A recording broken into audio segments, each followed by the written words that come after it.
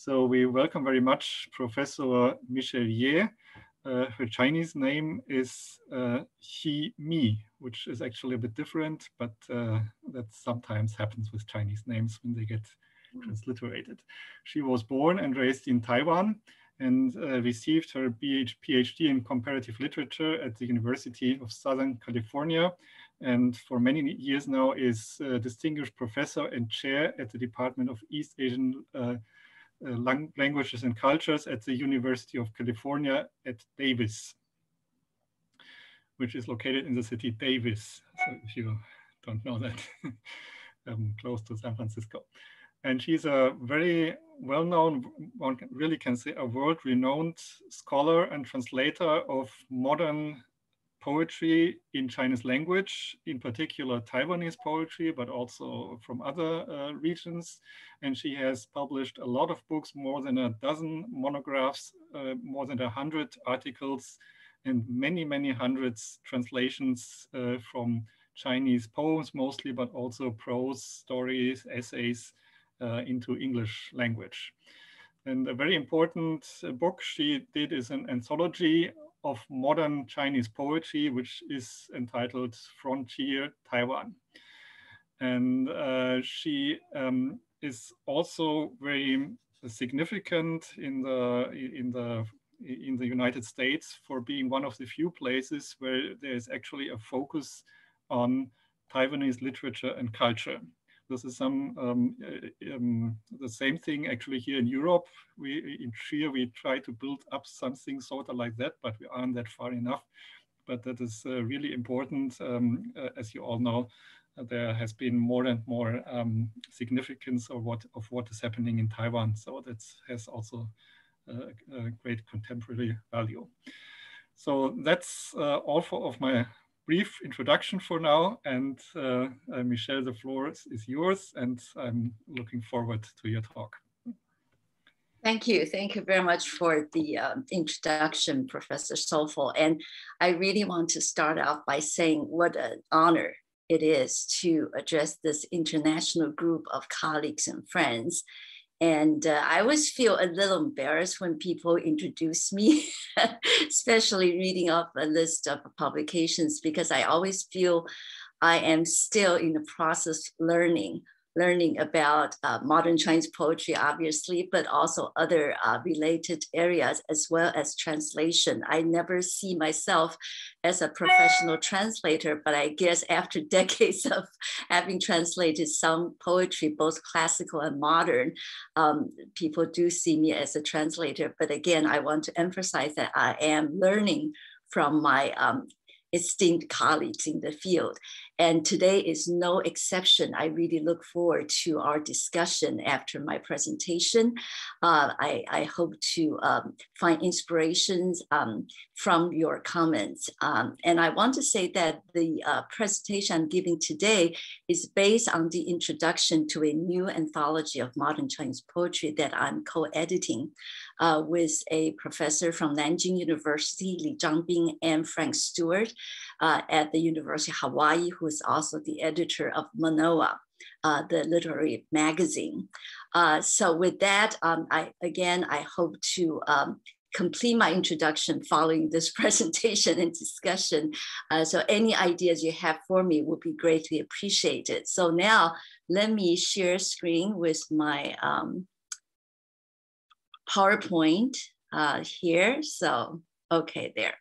So um, why modern Chinese poetry is the title. And I you notice that I've added a few words to the subtitle. Originally, it was uh, challenges and opportunities, but now I have added renewal of tradition. I think this is especially relevant to our discussion uh, later on uh, with those colleagues here who specialize in classical Chinese poetry.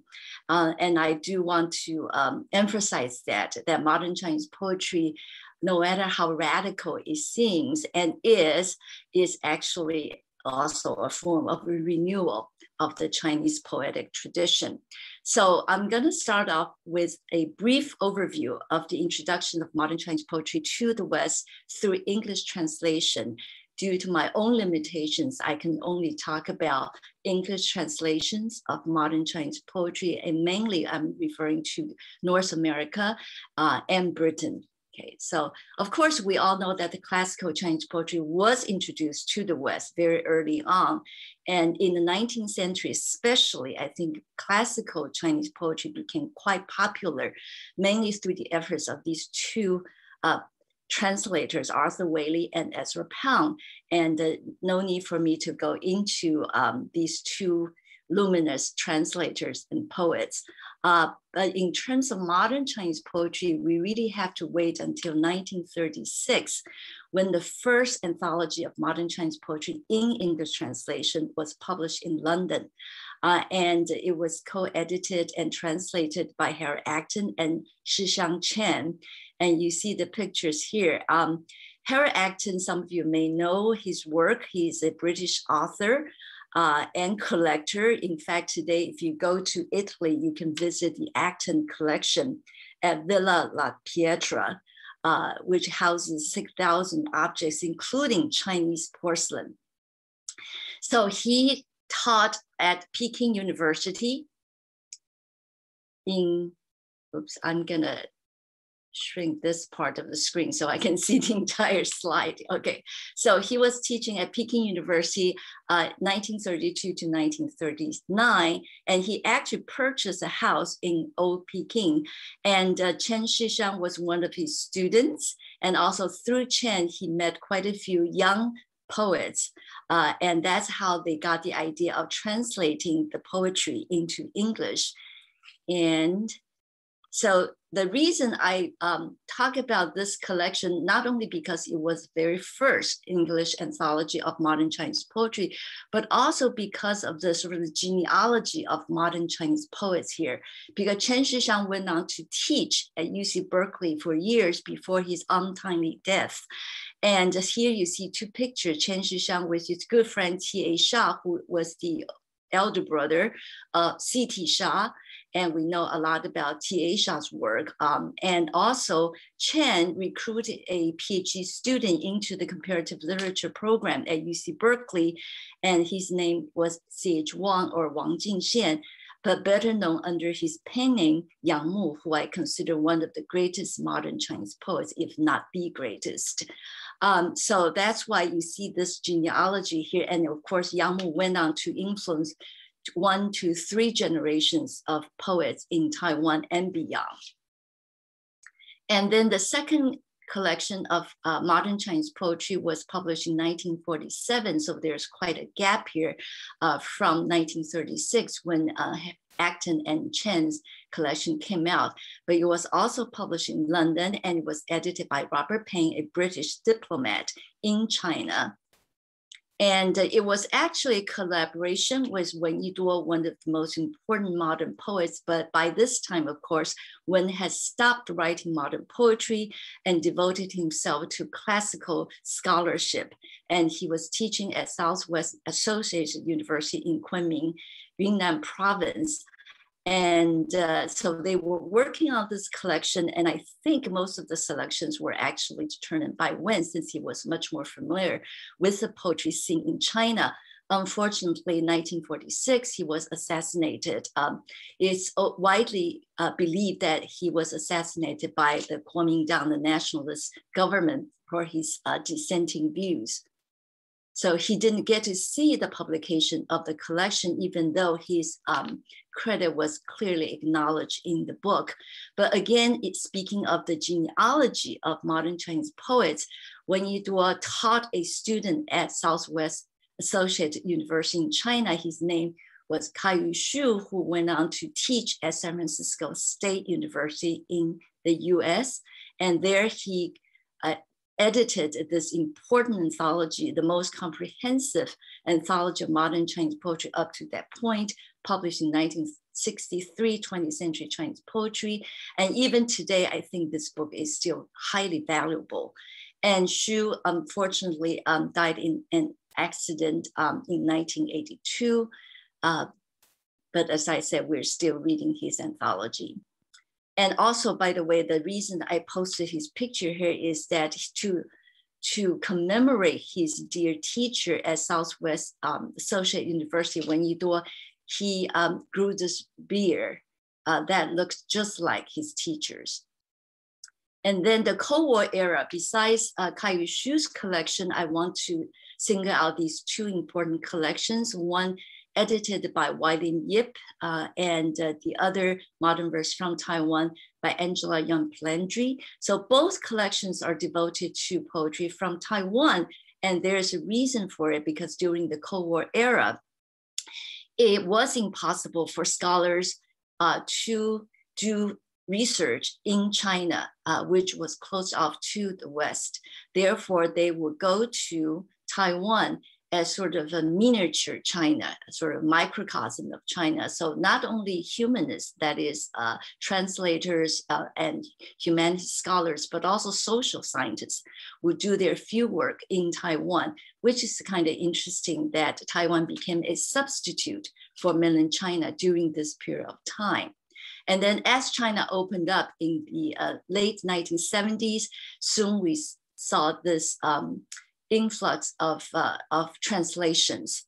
Uh, and uh, this is not a comprehensive list by any means, so I apologize for leaving out any um, books um, on this list, but this just gives you an idea as to the many anthologies that started to come out in the 1980s and 90s, and this continued to grow into the 21st century. Again, I apologize if it's not a comprehensive list.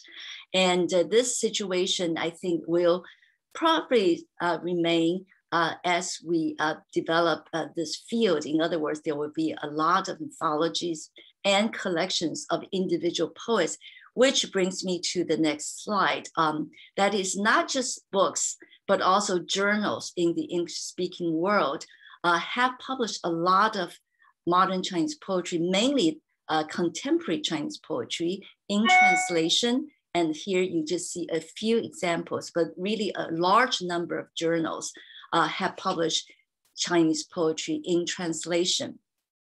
And also, what is very um, noteworthy is that not just anthologies, uh, which are general collections, but individual collections have uh, have come out in growing numbers in recent years. I think the last 10 years or so, but also in the coming years, we will see a lot more coming out. And this is just a partial list of Chinese poets whose works have been translated into English. And for um, my colleagues in the field, you can uh, identify these poets, maybe all of them, maybe some of them. Okay, I try to um, have a balanced uh, representation here of poets from mainland China, Taiwan, and Hong Kong, and different generations of poets. So um, then I want to move on because the translation of modern Chinese poetry really serves as a segue to uh, translation and modern Chinese poetry because translation itself has played such a crucial role in the development of modern Chinese poetry since its beginning. Uh, so here I use uh, two examples. Well, first of all, Ezra Pound, of course, we know his translation of classical Chinese poetry, uh, but actually he has also had an influence on modern Chinese poets. Uh, but what he says about translation strikes me as um, very important. Translation is likewise good training. If you find that your original matter waffles when you try to rewrite it, the meaning of the poem to be translated cannot wobble. I think it's such a good lesson for me as a translator, but also for most modern Chinese poets. Uh, they also translate poetry from various languages. Um, German, French, English, and Japanese, and so on. So anyway, I think this really um, bears remembering.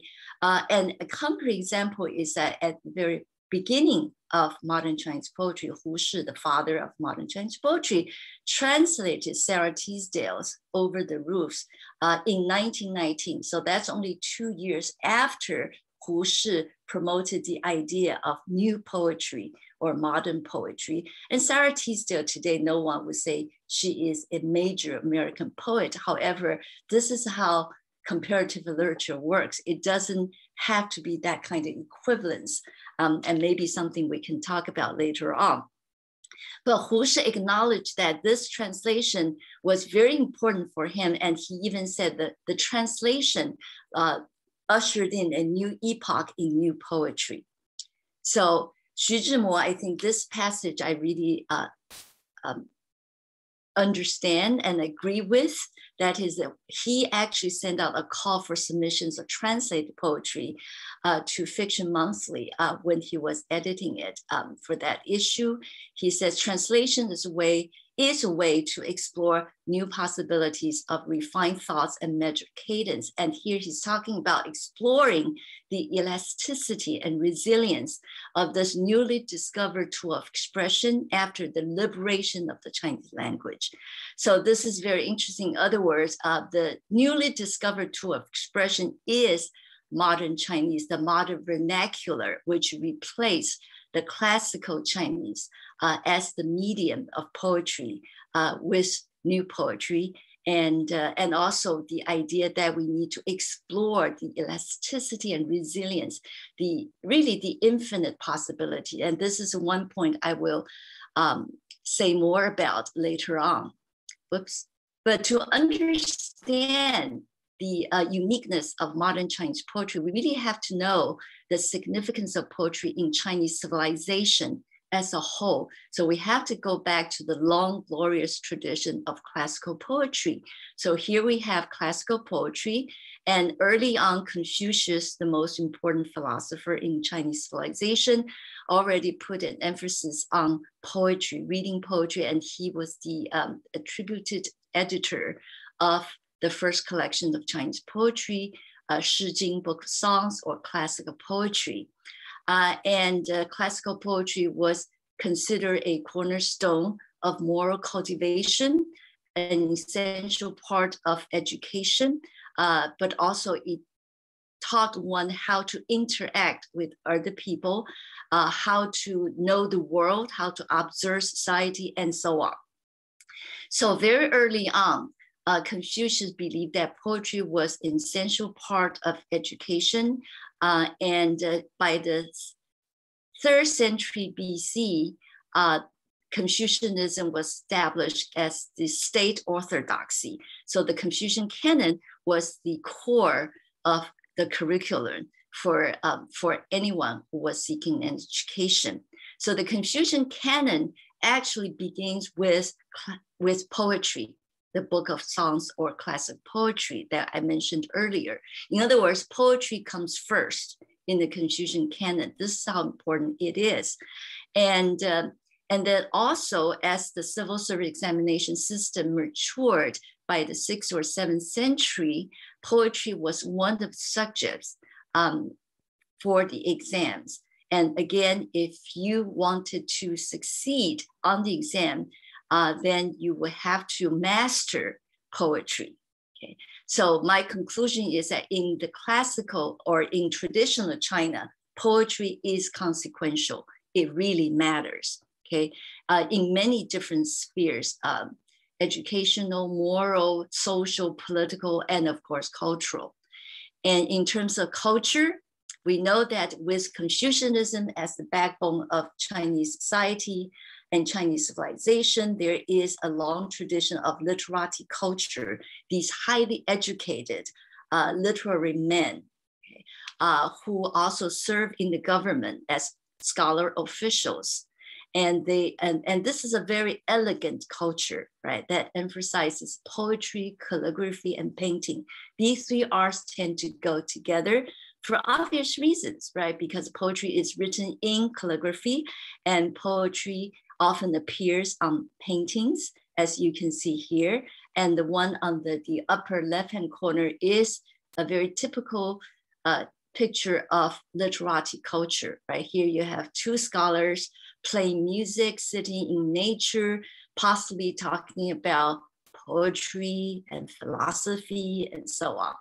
Okay, so let's move on here. But also I want to emphasize uh, that poetry, yes, classical poetry was written by and for members of the elite. However, it is not uh, an elite art, but rather it is a form of popular art, I would say, or public art in multimedia As you can see here, it's carved, it's inscribed, it's painted, it's embroidered, right? Um, so all the uh, different media, but also different forms, um, just about anything uh, around uh, around you in daily life, you can find some kind of uh, poetry quoted. Uh, so in these forms. Now I want to move on. In contrast, in contrast to the importance uh, of poetry in traditional China, into the, the early 20th century, we've seen this uh, radical change as a result of structural, uh, structural um, changes. That is the abolition of the civil service examinations in 1905. That means that poetry no longer had any political role to play. And then the end of monarchy, the founding of the Republic of China, 1912, uh, that of course means that uh, political is, is a different world. And uh, poetry, because of the new education system, also began to play a diminished role. Uh, but other aspects as well, even material culture, is it's um, in terms of people's daily lives, uh, it was a different world.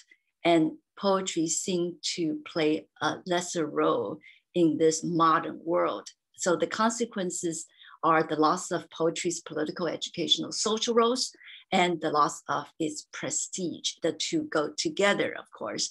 Uh, and, and at the same time, I think an equal, equally strong, uh, maybe even greater challenge facing modern poetry in the early 20th century was classical poetry. This, uh, as I mentioned before, uh, the importance of classical poetry in Chinese civilization and I think that gave rise to what I call fetishization of classical poetry. Even today, when Chinese people talk about how proud they are of poetry, they are really talking about classical poetry, right? They can cite Li Po and Du Fu and many others. And, and there are reasons for that phenomenon. Uh, one is what I call sedimentation of classical poetry in the Chinese language, both spoken and written. It doesn't take a scholar to use uh, poetry, classical poetry, um, in their daily use, whether in their speeches or in their writings. Okay, so there's such a deep um, part of Chinese language that's being shaped by classical poetry. And the second point is naturalization of the classical paradigm. Um, that is in terms of literary paradigm. Uh, and because of thousands of years of classical poetry, because of its uh, centrality in Chinese society and culture, uh, people have accepted the paradigm that's embedded in classical poetry. Of course, you can say there's a whole diversity, there's a variety of classical poetry, is not all the same. However, I will argue by saying that the dominant paradigm in classical poetry as preserved in masterpieces. I mean, that paradigm has been naturalized. That is, Chinese readers tend to expect that kind of poetry when they when they read poetry, and the consequences are poetry, modern poetry tends to be seen as strange and foreign. Of course, you can say after a century of development, poetry, modern poetry has been accepted a lot more than in the early 20th century. But in general, I would say modern poetry, in comparison to classical poetry, is seen as strange and foreign. It's not indigenous, right? It is not classical. And then um, at the same time, there has been a criticism of the cultural identity of modern Chinese poetry. So, two questions have been posed basically. It is poetry because it's so different from classical poetry and it is Chinese poetry because it seems so foreign. So these I will talk about briefly later on. Um, but what I want to turn to is really the, uh, the advantages of modern poetry. That is, first of all, we have seen that modern poetry draws on many new literary and philosophical resources, what I would call translated modernity. It doesn't have to be translation in a literal sense, but I think one way or another, it is translated, right? So um, first of all, this these pictures, I'm sure you can identify some, if not all of the, the major poets here, and they have all exerted a significant influence on modern Chinese poets, right? Some of them study abroad, for instance, they study in France, in Germany, and the United States, and the, uh, the United Kingdom, and so on, but mainly through reading, right? Sometimes through translation. So, so this is one aspect of translated modernity, but also many of the poets, as I just mentioned, study abroad and they knew the languages. Uh, and so they could read the originals. Uh, and, and what I call the false dichotomy, going back to the uh, questions that um, some critics of modern Chinese poetry have posed, right? Is this poetry, is this Chinese poetry? I think it's a false dichotomy to say Chinese is diametrically opposed to Western, right? China and the West, but also tradition versus modernity. And this I will um, sort of clarify, but in a way, um, what critics have refused to accept sometimes is that even though modern Chinese poetry is written in Chinese, they say it's not Chinese. Uh, so even at a commonsensical level, it doesn't make sense to me. But but also it has something to do with the the perception of the Chinese poetic tradition that is it's a, a, stagnant thing. It is homogeneous, that it doesn't change, it doesn't grow. And that's exactly where I think modern Chinese poetry has made a significant contribution, which we'll talk about some more. Um, first of all, I don't think it's that dichotomy, but rather we're really looking at native responses to foreign stimulation. In other words, Chinese responses to world stimulations, right? All the resources that I mentioned earlier. There is a process of transplantation and naturalization. I guess I have used the word naturalization many times already, but this is, seems to me a key to understanding um, modern Chinese poetry, that it doesn't stay the same, right, forever. Classical poetry never stayed the same, right? It kept growing and developing, maybe not in a linear fashion, um, but it's, it still changed. It still changed. Um, so let me go on here. What is modern about modern Chinese poetry? This question always interests me a lot more about what is Chinese about modern Chinese poetry, even though I know some people disagree with me um, that has been my focus, right? So in terms of what is modern about modern Chinese poetry, some of these adjectives we can use to describe it, iconoclastic, deconstructive, emancipatory, innovative, experimental, original. As you can see from the pictures, I mean, I picked these paintings um, really um, carefully because I wanted to show how they are both. They are both traditional that is traditionally Chinese and modern, right? Innovative, that is, and original. Okay, so if we look at modern Chinese poetry, it has actually gone beyond literature to play a significant role in modern Chinese history. That is, has played the role of the vanguard uh, in, in several instances. For instance, new poetry uh, in the May 4th era in the 1910s uh, and 20s, and uh, because new poetry uh, really was the first to um, usher in modern Chinese literature. It was uh, the most uh, radical call for reform. Uh, and then some of these um, original collections of modern Chinese poetry, Hu Shi's Experiments was the first collection of modern Chinese poetry. Um, and then uh, Goddesses is by Guo Moruo, another milestone in the history of modern Chinese poetry, and the Wild, Wild Grass by Lu Xun, uh, another first, that is the first collection of prose poems in Chinese. So let's move on here. And then in the 1950s and 60s, uh, I think that we, we saw modernism thriving in Taiwan and Hong Kong. And it was the first among the various art forms to, to uh, launch modernism in post-war Taiwan and Hong Kong. And painting came along with poetry. And this is an interesting historical phenomenon that is usually poetry and painting go together, right? Whereas fiction, drama, may be uh, separate in terms of their trajectory. And uh, so here you see the Modern Chinese Quarterly, uh, founded by Ji Xian in Taiwan, um, followed by the Epoch Poetry Journal uh, in 1954. In Hong Kong, you had the first modernist journal, right, devoted to uh, all forms of literature, poetry, fiction, and so on. And there was a lot of interaction among these avant-garde journals. Okay, and then the third example is in the um, in the 1970s, 80s, uh, even during the Cultural Revolution, uh, underground poetry um, was developing and in fact widely circulated uh, by hand copies. And underground poetry during this period of time eventually uh, attracted national and international attention when China opened up in the late 1970s and 80s, and some of it was known as misty poetry, a term you may be familiar with.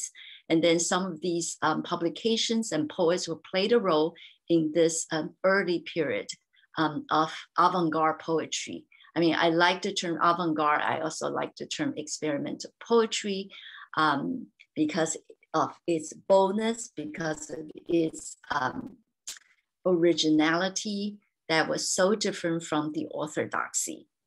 Okay, and renewal of tradition beyond iconoclasm. So beyond what we have talked about, um, I also want to emphasize that um, tradition um, of Chinese poetry is um, strong and alive and growing.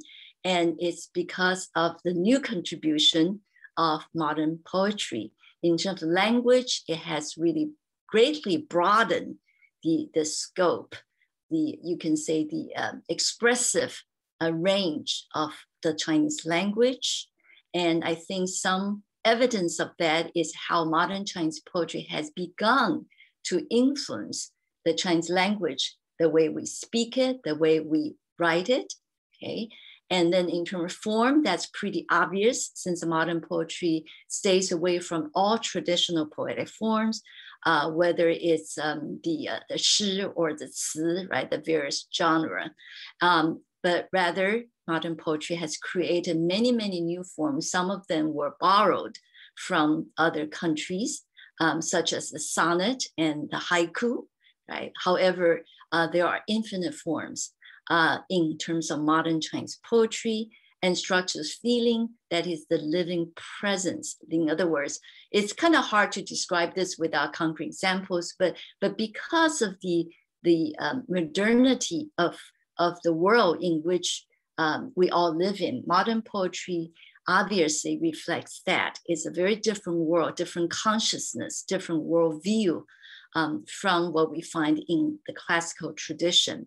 And finally, relations music and painting. We saw how uh, important poetry was in terms of paintings, classical painting, but also I think in modern poetry, you can identify important collaborations between poetry and painting, not to mention that some poets are painters also, and uh, photographers, uh, musicians, and so on. The music, I think what is often um, criticized, I guess what people often criticize modern poetry for is that it's not musical. It's not musical only in a traditional sense, that there are no rhymes, there is no predetermined prosody. However, there is a lot of music, a musicality in modern Chinese poetry. And even in terms of songs, some of the modern poems have been uh, turned into songs. Some have become quite popular. And in fact, music is a way to discover some modern poems. One good example is um, Mu Xin's uh, 从前慢, um, slowness of the past or slowness in the past, right? A poem that really very few people knew about until it was um, composed um, as a song. And now it's one of the very popular songs in China and beyond. So anyway, I think in, in all areas, we can see that modern poetry has contributed to a vigorous renewal of tradition. So I can stop here, or I guess I'll just look at this uh, couplet from a modern poem written by a mainland Chinese poet, Chang Yao, a really wonderful poet. Um, And uh, just the opening lines of one of his best known poems. Uh, and this is not a, you know, um, careful translation, more like a paraphrase. We have agreed not to touch on the past that hurts. We only do small talk, only view the fragrant grass. So even though this is modern poetry in terms of form, in terms of language, in terms of punctuation, which didn't really exist in classical poetry, um, you can see a close connection with the classical tradition. For instance, the, the setting in which the poem um, is written, it's really about a reunion of friends, right? So we agree not to talk about the past because that will only make us hurt, right? It will only bring us pain. And that really reminds us of Du Fu's poem, right? Du Fu's uh, poem about um, getting together with a friend who he has not seen in 20 years. And uh, when they talk about old friends, half of them, according to the poem, have become ghosts, right? In other words, uh, things that hurt. But also the second line, fragrant grass, the title of the poem, right? That reminds us of the Wang Wei poem, right? About saying goodbye to a friend and who knows when we will see that friend again, even though grass will grow back next spring. So even in these modern lines, uh, you, you hear echoes, echoes of the poetic tradition. There is no separation. It's not possible to separate the two. I guess I'll just stop here and uh, in an open-ended kind of way. And, and I welcome your comments and suggestions and criticisms.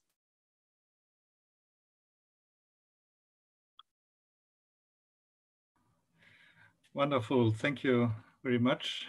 I was very fascinated not only by the talk, but also by the by blending all these pictures, which really give kind of much more sense and depth to, to everything.